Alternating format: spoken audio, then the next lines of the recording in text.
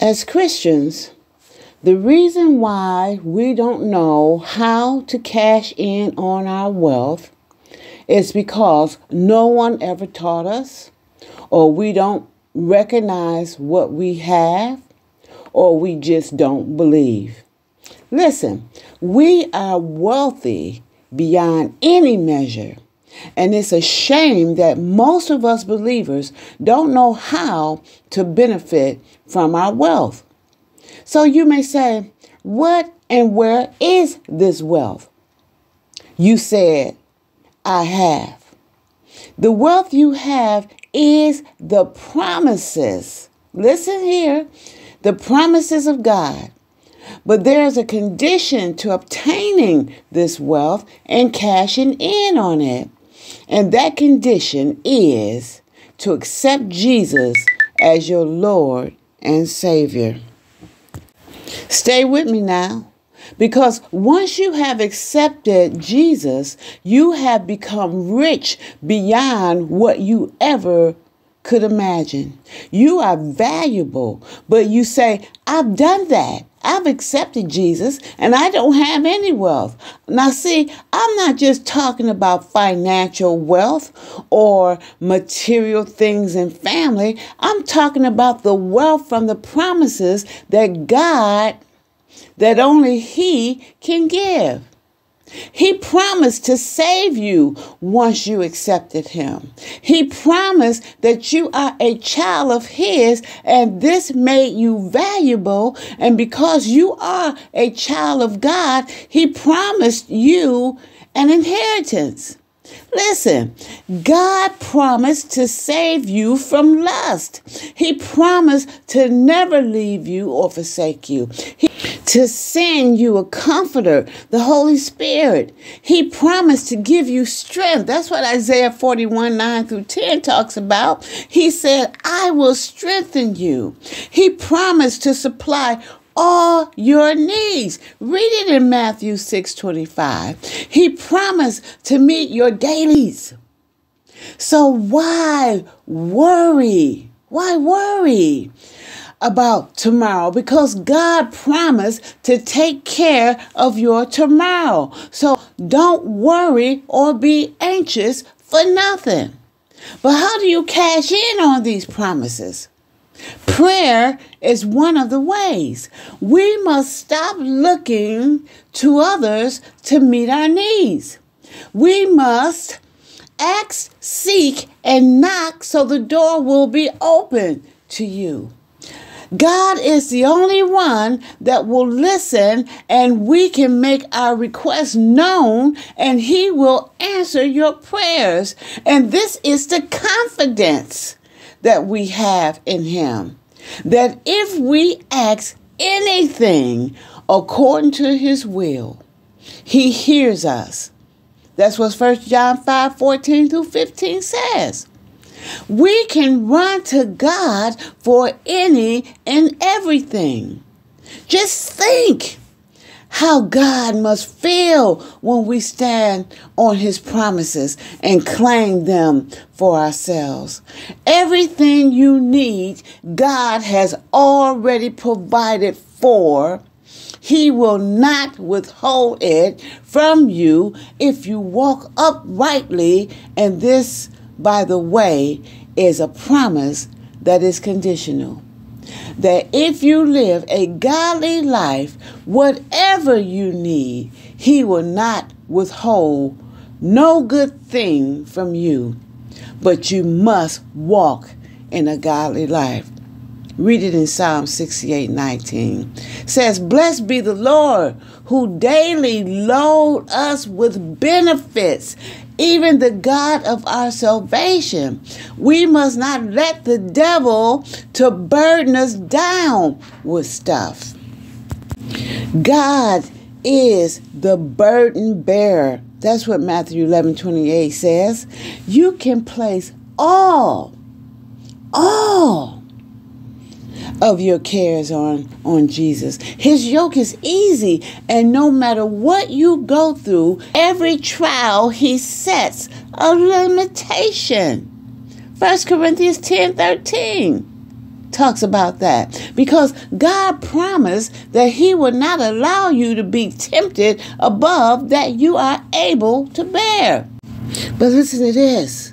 He says, but with temptation, also He makes a way to escape that you may be able to bear it.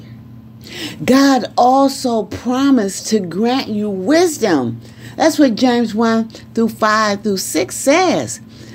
God says, if anyone lack wisdom, let him ask of God who gives to all generously. But let him ask in faith, nothing wavering. For he that wavereth is like a wave of the sea driven with the wind and tossed. God also promised healing for us. Turn to Psalms uh, chapter 103, verse 2 and 3, and read it for yourself. It says, Praise the Lord, O my soul, and forget not all his who forgives all iniquities and heals all your diseases. Listen, he says, and heals all your diseases. So why would you doubt that? Why would you forget the benefits that God promised you? God promises to give you the desires of your heart. So, how do we delight in the Lord? Here's your answer it is to know, love, and serve God. Commit thy way unto the Lord. Trust also in him, and he shall bring it to pass. That's what Psalms 37 4 says. Listen, God says that he is our refuge and strength, a very present help in trouble. That's Psalms 46 1.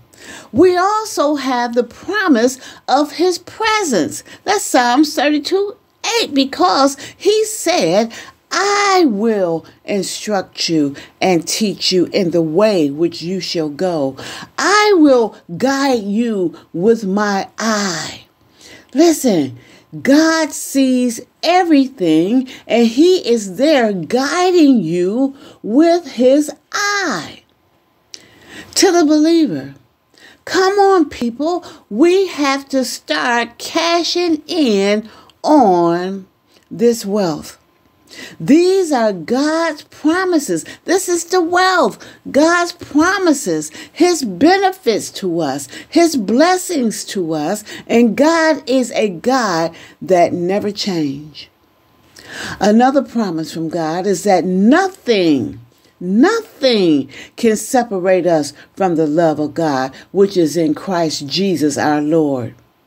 He said, For I am persuaded that neither death, nor life, nor angels, nor principalities, nor powers, nor things present, nor things to come, nor height, nor depth, nor any other creature shall be able to separate us from the love of God, which is in Christ Jesus our Lord.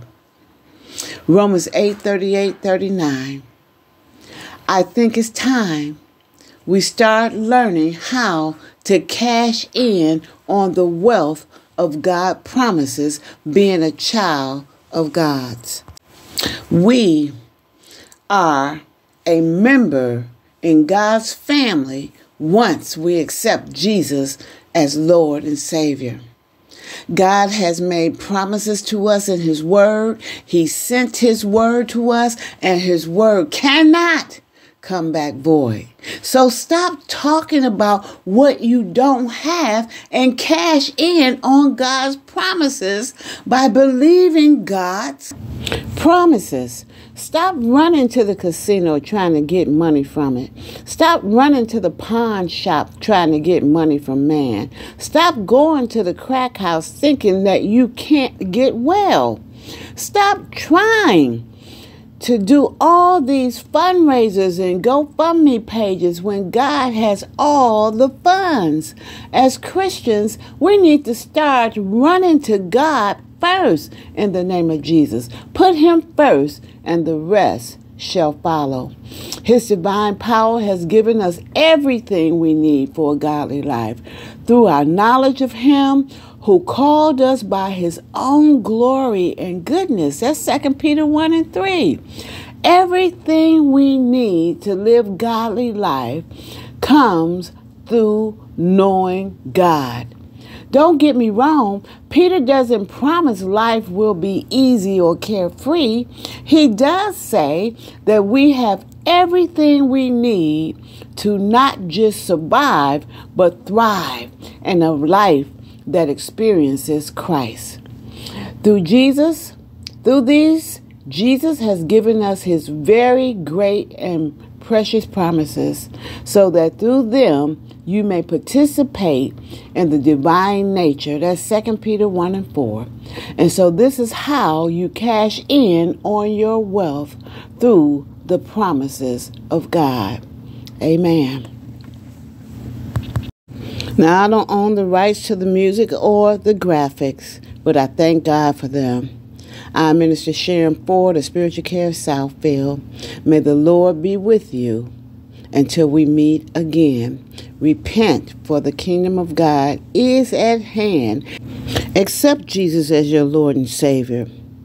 Cash in on the benefits of God's promises. Amen and amen.